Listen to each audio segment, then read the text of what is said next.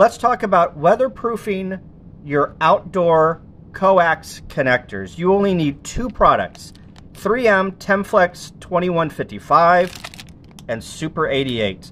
So what you do is you wrap your connector with Temflex 2185. This is a rubber splicing tape.